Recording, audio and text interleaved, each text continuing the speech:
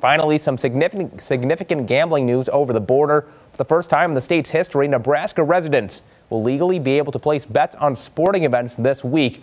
Warhorse Casino in Lincoln announcing that its new sports book will be open for business on Thursday.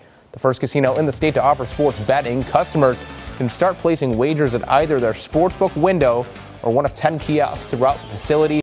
Bets must be placed on site due to state regulations through the Warhorse app can be billed wagers before taking them to the casino.